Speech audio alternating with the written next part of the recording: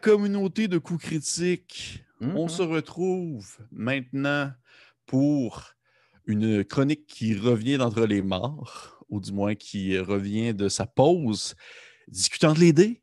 Discutant de les dés euh, sous un nouveau format, on va dire discutant de les dés version 2.0, Oh. ou euh, aussi comme un peu comme les suites de la matrice, là, genre discutant de les dés Reloaded ou des choses comme ça. Oh, shit. Yes.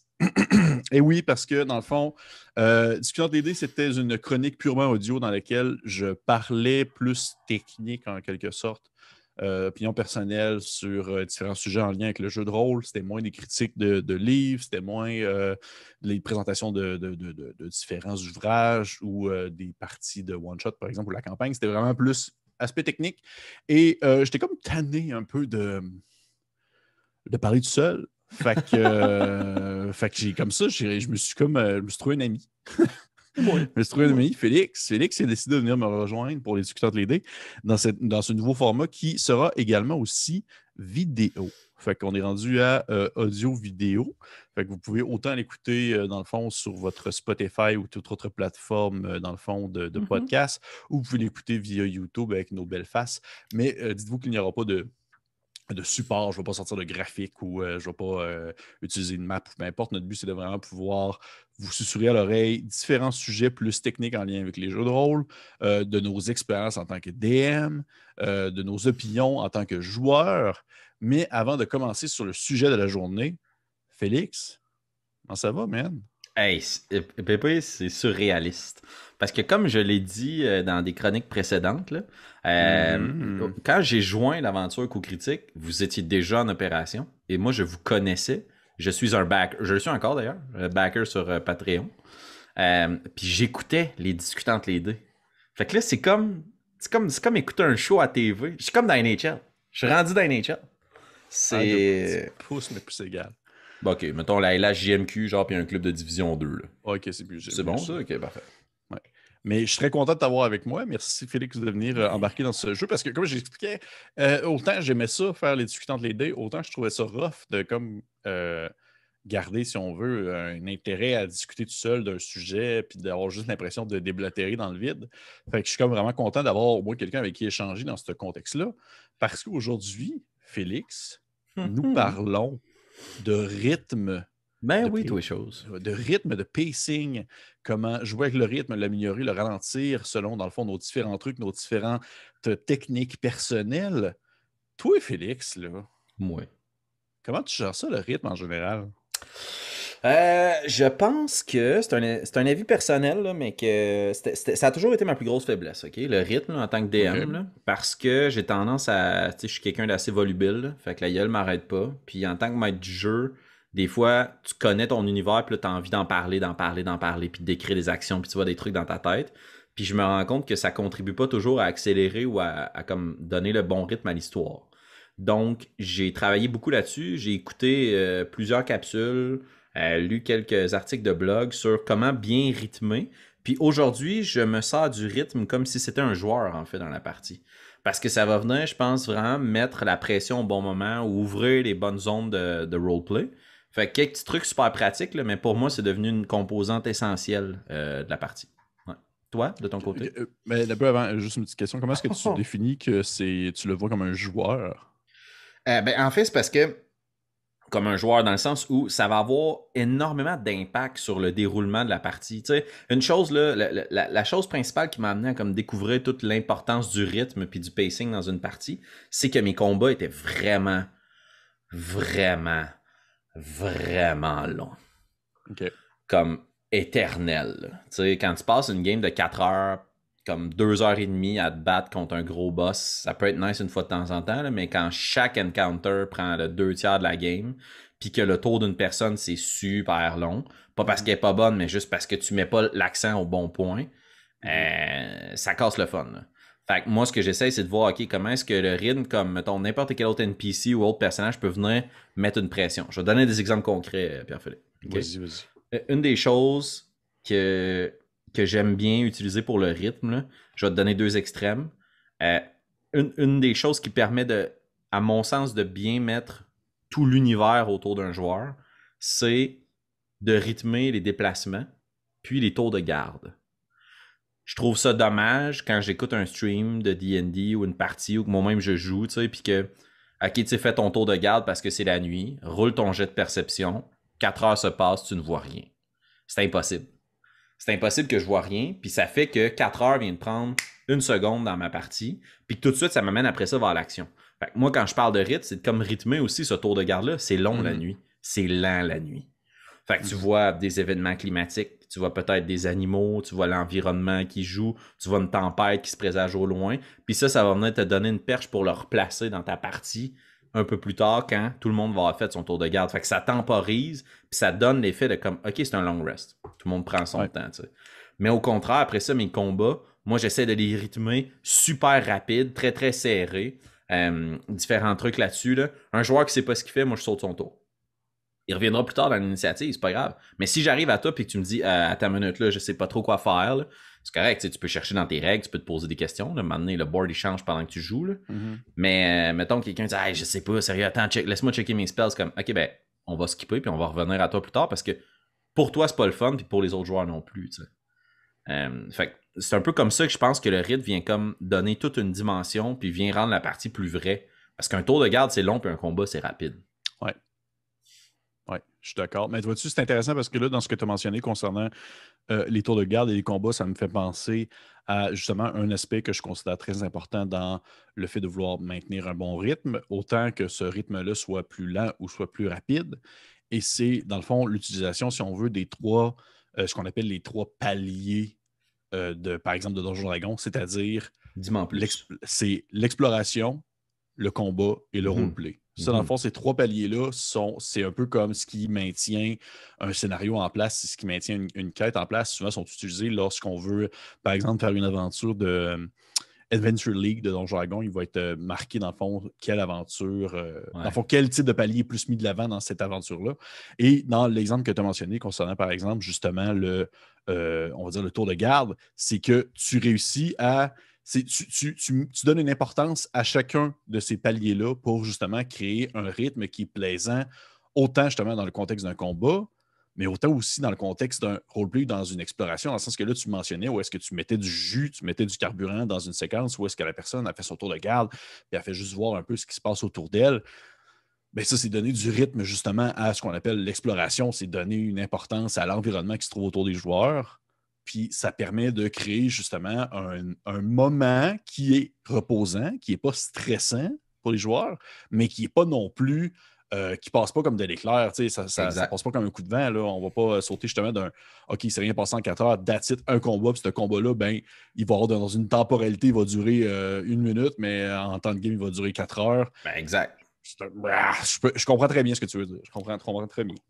Puis, tu sais, je pense, pour faire du, pouce là-dessus, pour parler de l'exploration, c'est une des composantes, je pense, qui vient le plus, euh, en tout cas pour moi, contribuer à définir ton environnement. J'ai une partie là, que j'ai joué dernièrement avec des joueurs où ils exploraient une forêt. Tu sais. Euh, ils étaient à la recherche d'un enfant qui avait été perdu. Là. Story, ben, histoire bien, bien simple. Mm-hmm. Euh, plus ils avançaient dans la forêt, plus mes descriptions étaient courtes parce que plus il se rapprochait du danger. Et donc, moi, je leur renvoyais toujours la balle. Puis, tu sais, à mon sens, c'est un peu ça le rythme, si j'avais à l'imager. C'est la vitesse à laquelle un DM, un maître de jeu, peu importe, est capable de donner de l'information, puis de transformer cette information-là en prise à l'action ou en demande de l'implication du joueur. Vous arrivez dans la forêt, c'est sombre autour de vous, les arbres sont noueux, il y a des ronces. Comment est-ce que vous, vous évoluez dans la forêt? Puis là, plus tu te rapproches du danger, plus les éléments autour, tu n'as plus besoin de les décrire, sont en tête des joueurs, mais c'est comme, OK, tu aperçois telle chose au loin, vite, tu un cri, comment est-ce que tu te propulses vers ça? Est-ce que vous laissez ça aller? Oui, bon, le temps passe, tu sais. Puis après ça, si tu veux mettre de la pression, ben, je me suis trouvé un petit ami pour les gens qui nous écoutent en audio, un petit sablier que je fais apparaître à l'écran des fois à mes joueurs, puis je suis comme, ben, t'as trois minutes, là. C'est trois minutes, après ça, tout le monde est mort. Fait que là, la vraie temporalité, elle vient aussi jouer là-dedans. Je trouve que ça permet de venir ajouter un peu de réel dans explorer. Tu sais, c'est pas je rentre dans la forêt, puis je me rends jusqu'à la clairière. OK, fais-moi un jet de survie. Ouais, OK. Good, tu y vas. Ah, Mm-hmm. Non, je suis d'accord. Je comprends, je comprends aussi que tu mentionnes dans le fait que tu, installes, euh, si on veut, ta, tu installes ton, euh, ton décor et tu prends le temps de l'expliquer au début, si on veut, de son exploration. Mais ce décor-là veut pas, même si tu n'as pas besoin de le rappeler, les joueurs s'en souviennent eux parce qu'il y a une importance. Tu as pris le temps au début, si on veut, de ta description, de bien le mettre en place, de bien l'expliquer. Puis par la suite, tu n'as pas besoin de répéter ça cinq, six fois tant que vous êtes dans, si on veut, dans la même, euh, on va dire dans la même scène, parce que justement, ça, le fait de le répéter, je veux dire, à chaque, pas à chaque 10 euh, minutes parce que vous avancez dans une forêt que je vais faire la même description de la forêt parce qu'au ben final, ça, là, justement, tu vas te couper, tu vas, tu vas, tu vas t'handicaper concernant le, rythme en soi. Là, tu vas, tu vas ben perdre du temps. Ben, puis tu sais, toi, tu es un fan de, de l'horreur. Je sais que tu en consommes beaucoup, tu en joues beaucoup, tu en animes. Tu sais. En euh, Ouais, t'en manges même, un peu d'horreur en céréales mm. pour déjeuner.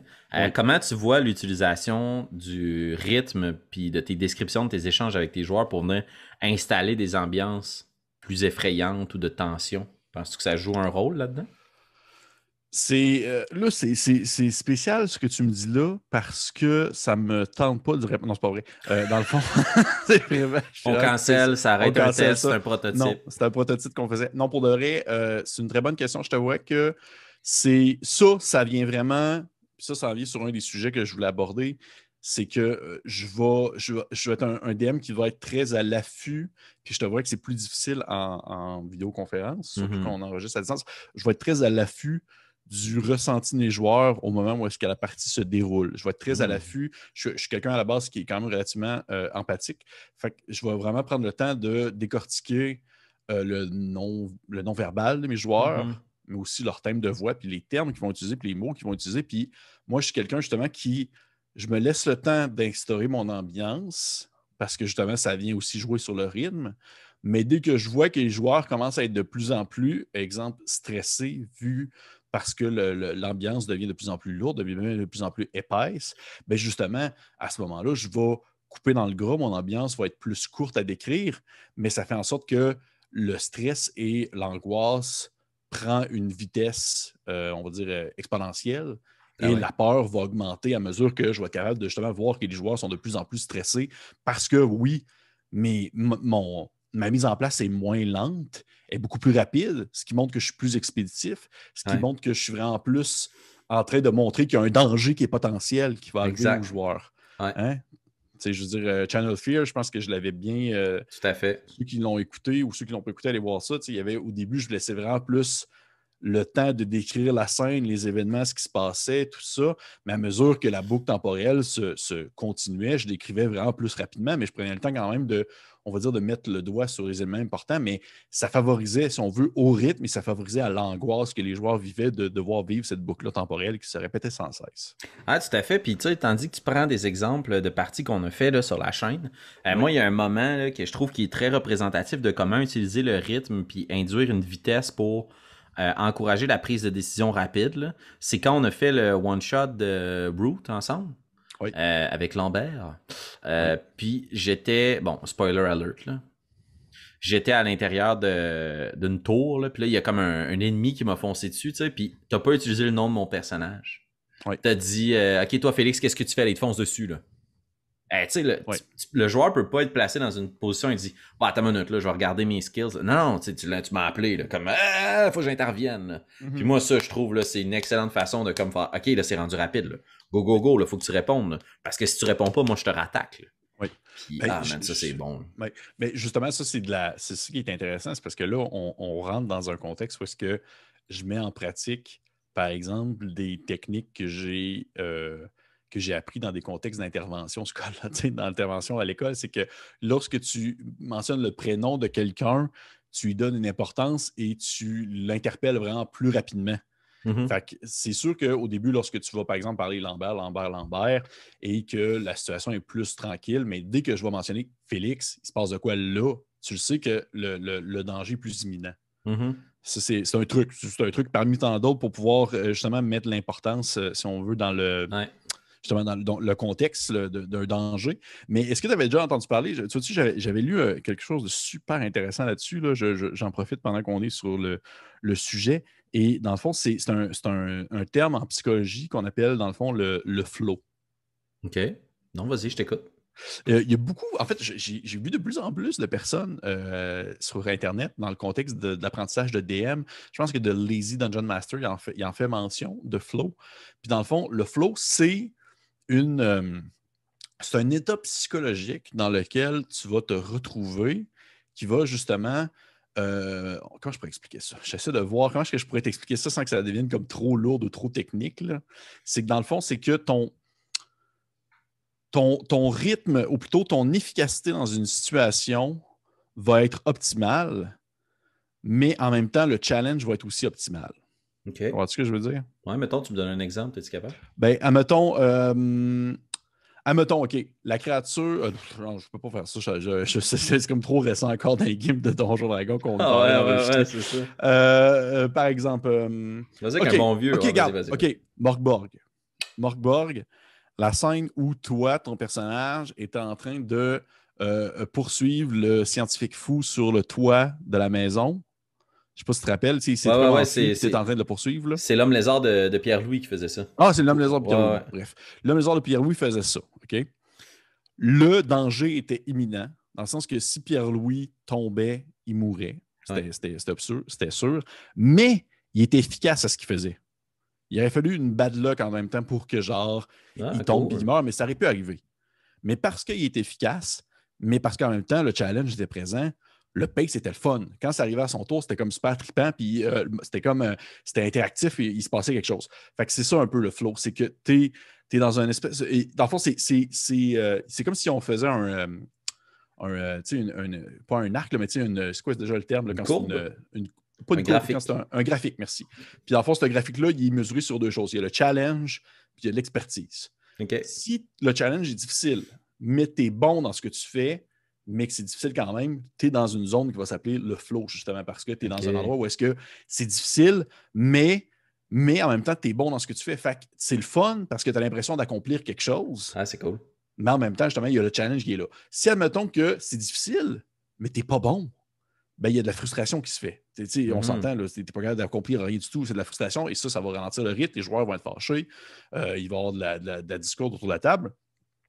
Si le challenge n'est pas présent et que l'expertise n'est pas présente non plus, ben là, c'est de l'apathie, il ne se passe rien. Il n'y a, a, pas de rythme rendu là, il n'y a rien du tout. Et si, admettons, on dit que l'expertise est vraiment forte, toi, tu es vraiment bon, mais le challenge n'est pas là, ben c'est juste plate. on s'entend, quand tu es rendu, euh, euh, mettons, Donjon Dragon, tu es niveau 10, euh, puis euh, tu vas clencher quatre gobelins, ben, ah ouais, c'est plaisir. Non, non, c'est ça, c'est juste, juste lourd, là, puis ça fait juste ralentir le, pace. Là. Ben, ou, le pace est juste inexistant parce que tu, tu, le sais, tu sais ce qui va, tu sais ce qui va survenir dans les prochains rounds. Dans les prochains rounds, tu le sais que tu vas tuer des gobelins. Exact. Fait que, fait que c'est ça. C'est comme atteindre le flow, qui est en fait, dans le fond, cette zone où le niveau de difficulté est présent, mais aussi le, challenge est présent. Et ça, c'est quelque chose que je trouve qui est très important à garder en tête quand on joue. Ouais, c'est cool. que je ne vais pas me minimiser à changer à la dernière seconde un encounter si je crois que les joueurs vont euh, trouver ça trop facile ou si ça va être trop, euh, ou trop difficile. Dans mon mm-hmm. cas, moi, j'aime beaucoup lorsque. C'est bien rare que je donne des carottes à des joueurs. C'est bien rare que euh, je vais vous faire faire un combat, puis ça va juste être comme genre, yeah, c'est une partie de plaisir, on est bon dans ce qu'on fait, puis en même temps, c'est trop facile. C'est bien rare. Ça va tout le temps avoir un minimum de challenge. Puis euh, je pense que pour l'instant, ça va bien à ce niveau-là, je crois. Ah oui, tout à fait. Tout à fait. Ah, c'est cool. Fait que, on ouvre-tu la grosse boîte de Pandore des combats? Vas-y. moi, c'est comme je te dis, j'ai commencé à m'intéresser au rythme puis à comment utiliser la temporalité autant dans la partie que autour de la table quand j'ai réalisé que mes combats étaient éternels. Oui. Puis euh, il y, a, deux choses qui ont vraiment sauvé beaucoup de temps dans mes tours à moi. Un qui vient de Matt Colville, puis de toute la logique qu'il a mis en place euh, pour, euh, m'excuserez, c'est en anglais, là, mais Stronghold and Followers, forteresse et... Et suivant. Et suivant. Uh puis une des choses qu'il dit, lui, c'est que, tu sais, sur ta fiche de personnage, surtout dans Donjon Dragon 5e édition, sur ta fiche de personnage d'un ennemi, tu euh, as les, moyennes des résultats des dés. Oui. Puis euh, j'ai mis ça en place dans différentes parties, dont une quête qu'on a faite sur la chaîne Rage de dés. Tous les followers n'avaient pas de point de vie, c'était juste des ronds. Puis quand ils se faisaient toucher par un ennemi, ben, je barrais un point de vie. Puis, mettons qu'il était beefy, ben, il y en avait quatre. Puis, s'il était faible, il y en avait juste un, tu sais. Puis après ça, tous les monstres qui faisaient des dégâts, ben, ils faisaient souvent l'average, ils faisaient souvent la moyenne. Fait que ça me sauve un temps fou à rouler des dés. Ben c'est comme au lieu de rouler 2d6, ben, la moyenne c'est 5, mettons, il fait toujours 5 de dégâts. Ça peut paraître simpliste, là, mais moi, ça me sauvait beaucoup de temps parce que moi, de mon côté, j'ai moins de dés à rouler, puis j'ai moins de calculs à faire. Le monstre, au bout de 5 attaques, il est mort, on s'en fout, c'est pas, pas grave. Là. Ça viendra mm. pas tout casser la partie. Ça, c'est une des choses que je voulais mentionner là, quand on a parlé qu'on allait euh, discuter du rythme. Puis la deuxième chose que a tout changé, là, puis je l'ai constaté, mes, mes, joueurs jouent actuellement la quête euh, La tyrannie des dragons, de, bon, qui est un module préfet. Puis, euh, ben, ça le dit dans le nom, ils se battent contre des dragons. Puis il y a un combat contre des dragons qui est comme 400 points de vie, c'est long, longtemps. Puis, puis, ça devenait plus, plus laborieux. Puis à un moment donné, on rencontré un dragon, puis j'ai mis en application ce truc-là, puis le combat a été expéditif. C'est que, au lieu de décrire la conséquence, au lieu de décrire une action, tu décris la conséquence d'une action. Exemple, ton archer prend des flèches, puis les tire vers le dragon. Roule tes jets d'attaque, ça touche, roule tes jets de dégâts. Je ne décrirai pas, moi, en tant que maître du jeu, le dragon est criblé de flèches, tombe sur le dos, perd pied, puis glisse dans le sable. OK, c'est à toi, Pierre-Philippe. Ça va plutôt être de dire tout le monde le voit dans sa tête, le dragon qui mange des flèches. Le dragon lâche un cri de douleur après avoir reçu tes flèches. Il se retourne, place les pattes dans le sable, puis va commencer à craquer son jet de flamme pour attaquer le deuxième joueur. Qu'est-ce que tu fais, Pierre-Philippe? Ça change tout, man. Ça fait que la pression, tu utilises les actions de tes joueurs plutôt que les décrets pour faire un boomerang. Ça revient vers moi, puis je te le repousse vers toi comme joueur parce que dans ta narration, tu mentionnes que c'est comme si le dragon réagissait. Exact. N'était pas seulement victime, si on veut, de l'attaque, mais réagissait à celle-ci. Oui, tout à fait. Puis ça vient, ça vient rajouter un peu cette notion-là de le 6 secondes que tout le monde joue un peu en même temps. Tu sais, le dragon, il a pas attaqué, mais tu sais qu'il se prépare à t'attaquer. Fait que là, ton joueur, il est comme dans une situation de comme Oh shit, ok, qu'est-ce que je fais? Oui, ça, ça, démontre, ça, donne un effet que le joueur est comme, on va dire, pressé à agir. Là. Il faut qu'il fasse de quoi. Là. Il va pas justement. Tu sais, c'est pas. Euh, c'est pas ah, tout le monde l'attaque un après l'autre, puis c'est le fun. Il, se passe tout le temps quelque chose. OK. c'est intéressant, vois-tu, c'est vraiment bon parce que c'est bon, mais c'est vraiment, c'est, vraiment simple, dans le sens que c'est pas. Euh, Tellement, là. Tu sais, c'est juste une petite switch, là.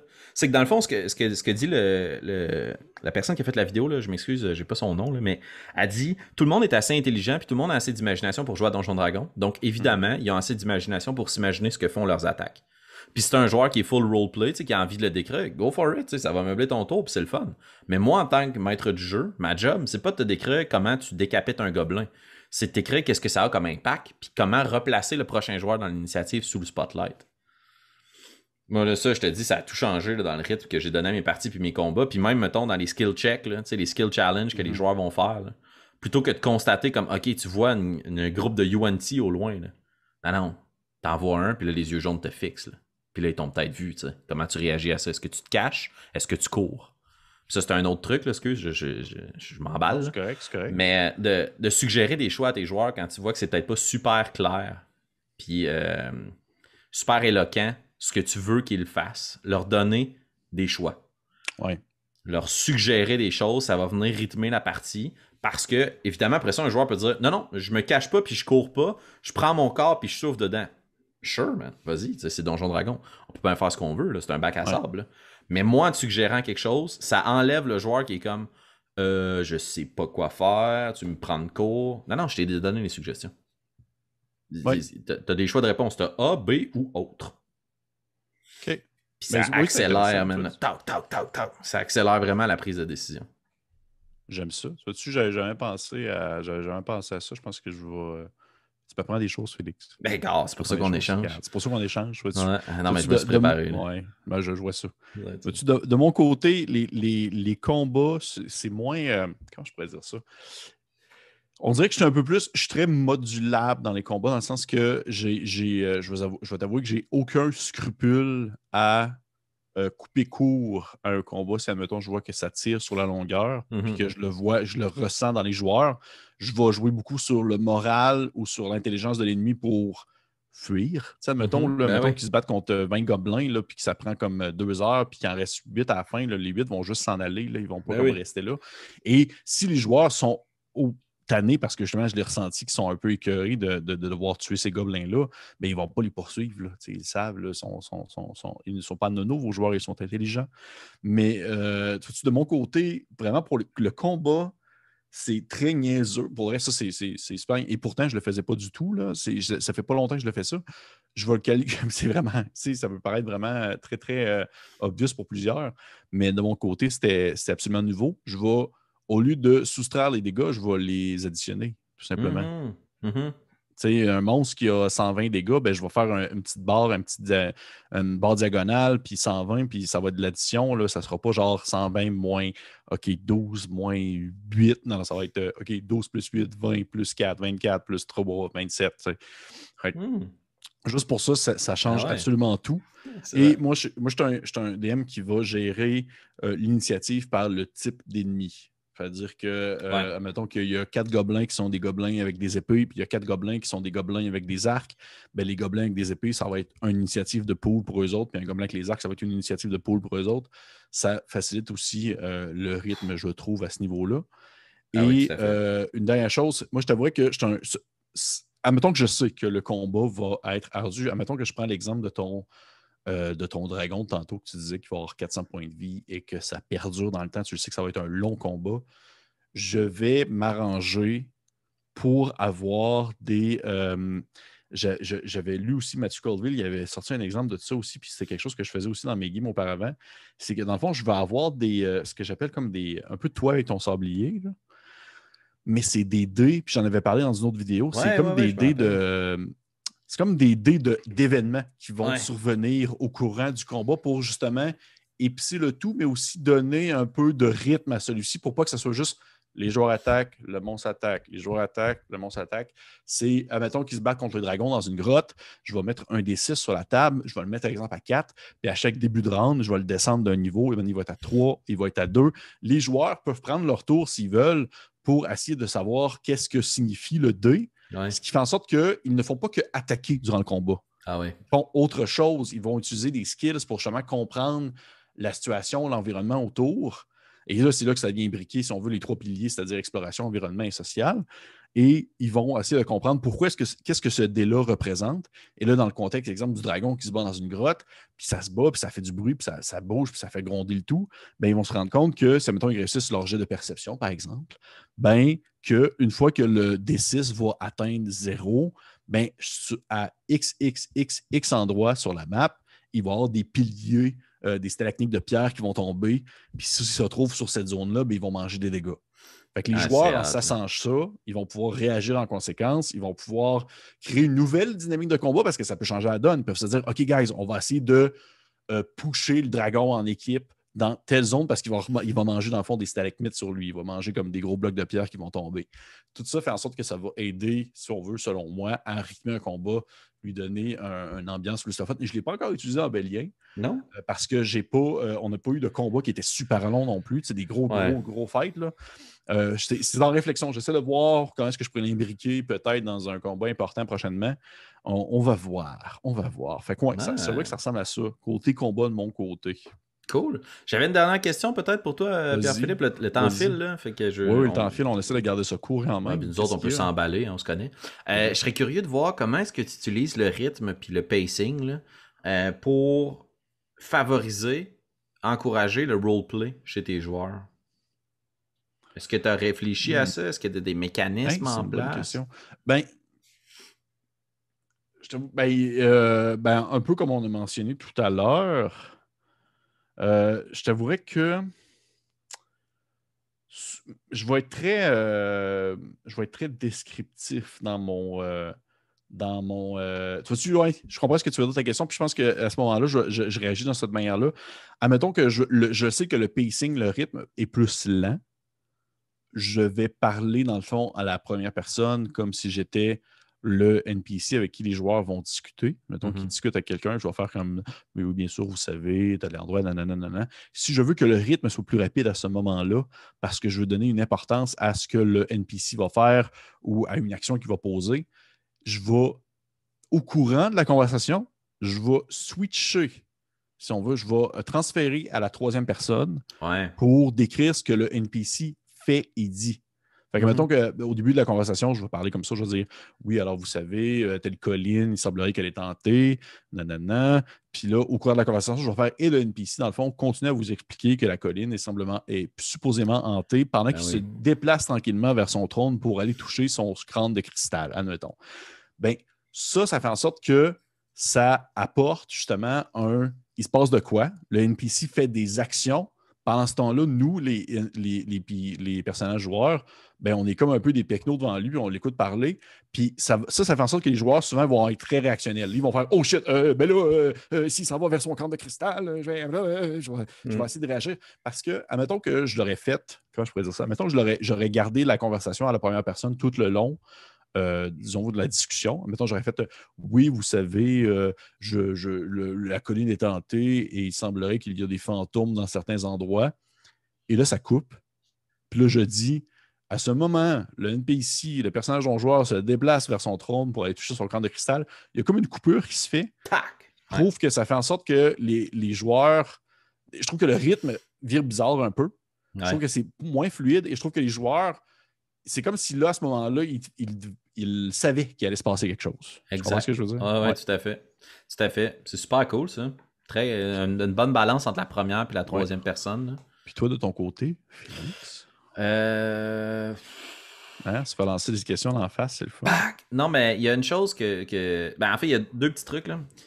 La, la première, quand je veux encourager le roleplay entre mes joueurs, ou, ou Mhm. souvent en début de partie ou en début de quête, là, tu sais, c'est toujours ce moment un peu awkward où comme les gens sont pas super à l'aise de faire du roleplay. Peut-être que les joueurs Ouais. autour de ta table ils se connaissent moins, tu sais, puis la place que va prendre le roleplay. là. Moi, je leur drop un NPC super coloré d'en face, là, qui va genre être full exubérant, un gros accent, tu sais, puis il parle, puis, puis après ça, le NPC s'en va, puis moi, je dis plus rien.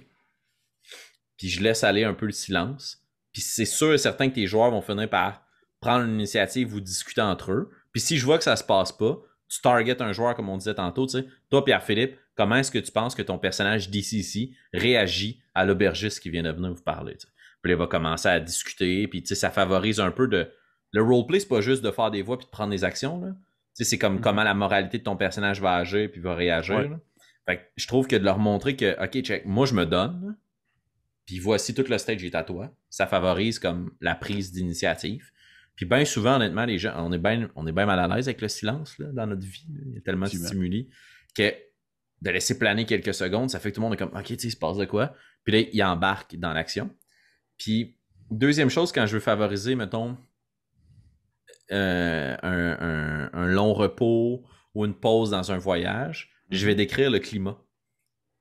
Parce, parce que c'est sûr que ton personnage il réagit à la pluie. Ouais. C'est sûr que ton personnage, il se passe quelque chose quand je te dis qu'il se met à tonner au loin, puis là, il y a une pluie torrentielle qui approche de vous, vous voyez traverser la colline, puis soudainement, le feu s'éteint tellement il pleut, commence à crépiter, puis tous vos vêtements puis les tentes sont inondés, tout est trempe. Comment réagissez-vous? Euh, c'est sûr que ça vient te chercher. Là. Tu, tu te vois tout de suite. Moi, je vois tout de suite Alphonse qui va essayer de faire quelque chose pour essayer de se protéger de la pluie. Ouais. C'est sûr. Là. Fait que ça te place direct dans Ouais. ton personnage. C'est intéressant parce que ça, ça- on dirait que ça- là, ça crée justement l'espèce de différence entre, par exemple, un jeu vidéo ou un jeu de rôle parce que là, du vidéo, tu t'en, tu t'en crisses, là, tu vas juste comme Ah te déplacer en dessous de la pluie, puis c'est tout. Alors que là, tu as une réaction logique d'un personnage qui a des ressentis, qui a des émotions, qui a des valeurs, une morale. Euh, ça revient aussi sur le concept des trois piliers parce que là, c'est, c'est de l'exploration qui se met en jeu.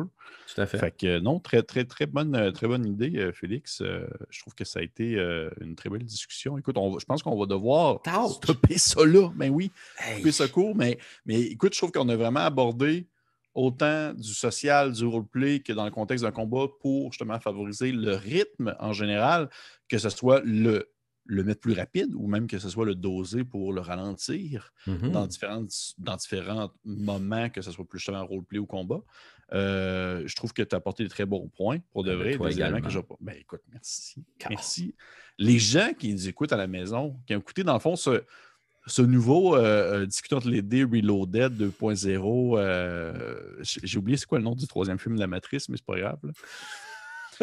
mais tout simplement, pour dire, euh, j'aimerais ça que vous marquiez en commentaire, vous, vos techniques, vos trucs, vos outils, afin de pouvoir euh, modérer, améliorer, euh, non, gérer le, le- le- le rythme, le pace de vos parties, dans le fond, que ce soit en ligne ou bien sûr en présentiel. Des fois, les trucs peuvent être différents.